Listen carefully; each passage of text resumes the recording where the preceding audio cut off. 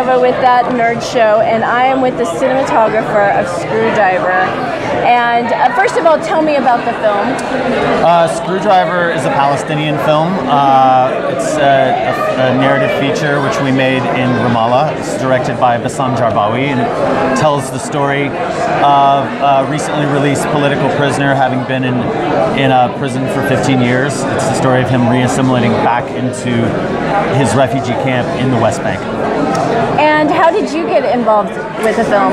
I got involved with this film because the producer Srihari Sathe, uh, an Indian producer, he and I had made a film, a Tibetan language film called The Sweet Requiem, in uh, in India about six months before, under kind of similar uh, similar conditions.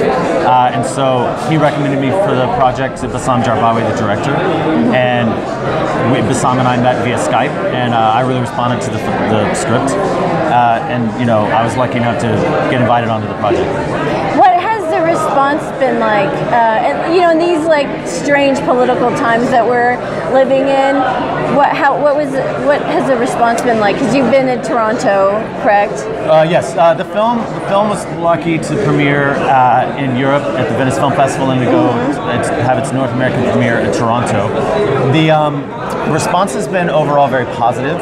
Uh, I think that this is a this is the Palestinian-Israeli conflict is something that that really uh, you know really polarizes people. Uh, and with that in mind, as I was getting involved with the film, I had to make sure I understood the director's intentions. He also Bassam Jarbawi also wrote the film, and I had to really make sure I knew what his what he was trying to say. And when I realized that this is uh, this is a very positive story, I um, I mean it's a hard it's a hard film and it's sad, but the message is one of uh, you know you know is, is one of like hopefully hope.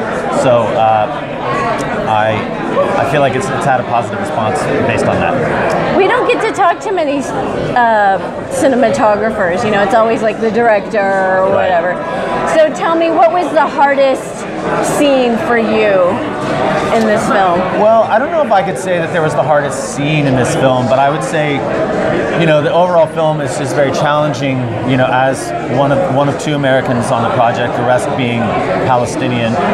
You know, it's hard to make a small film. It's hard to make a film in a different language. It's hard to make a film in a refugee camp. So all of these kind of mounted in a way where it was it was just a challenging film to begin with.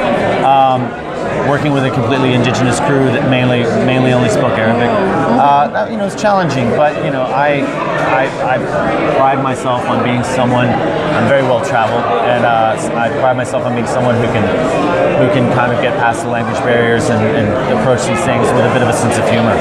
So uh, it was challenging, but it was definitely worth it. Um, so you worked with locals. What was the most surprising thing working with a crew that wasn't, you know, like a yeah, well, working you know working with an indigenous crew like we did, uh, mainly everyone was from the West Bank. Um, you know, it's you get in there and it's a matter of like I had never spent any time there, so it's a matter of me assimilating into the culture and finding out what the work ethic was like, what how to motivate people because someone in my position is, you know, I'm I oversee a big amount of the crew, and so it's uh, you know that's challenging. I have to kind of like slowly start to get to know people. At the same time, a film like this, we only had we had 30 days to shoot it. Yeah. So, you know, day one the gun goes off and we're sprinting, but at the same time you have to be really respectful of, of what people are going to respond to. So. So we have one nerdy question for you. Sure. In the nerd universe, if you had a weapon of choice or a superpower of choice to defeat the forces of evil, what would it be and why? Well, the weapon of choice would definitely be a camera. A camel? A camera. Oh. I mean, I love camels too. a camera. Okay, yeah. cool. And that's my weapon of choice yeah. in, the real world as well. And what was the other? What was the other part? Well, you you had a weapon of choice or a superpower. Oh so. yeah, I'm going to go with the weapon of choice. Weapon of the choice. weapon of choice is the camera. The camera. Great Because I'm a nerd. Yeah. Congra- congratulations. Thank you so much for the Andy, interview.